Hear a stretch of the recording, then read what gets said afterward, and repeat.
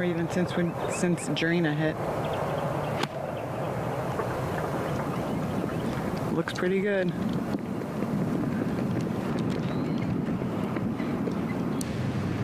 Hey, Jutanugarn now at the 15th. 108 yards. This is Sandwich, one of the more accessible pins on this green.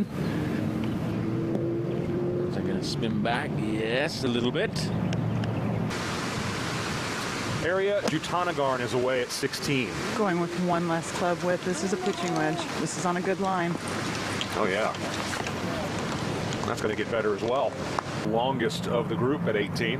From 65 yards. Ooh, came in kind of low there, Whit. Yeah, and a little bit of a bad break. Just hit it. Yeah, make it a soft dust. Yeah. Anyway, then you know where those in the green.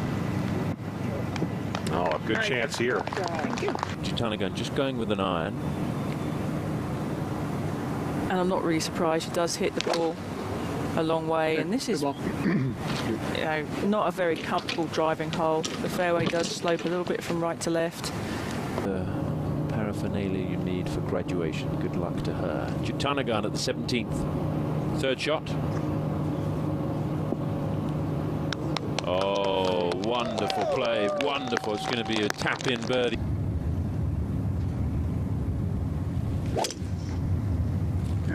She's had three top 10 finishes this year, including last week. So she has played with a bit of form recently. She was tied, or she was sixth before an eighth birdie on her back nine. What a round.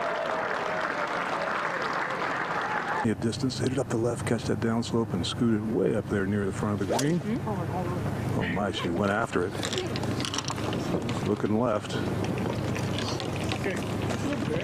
Oh, yeah, no problem at all, Jerry. This is massive down the left side.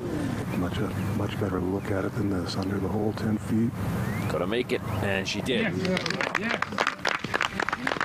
Jutanugarn at the 14th, her second. 108 off that uphill lie, sky high with a gap wedge. Oh,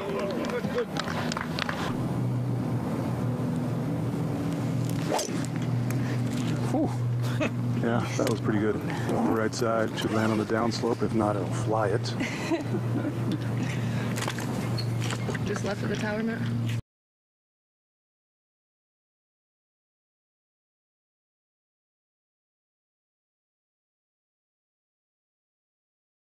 Yards. Minjee Lee just played her approach to about 15 feet behind the hole. This one has better distance initially.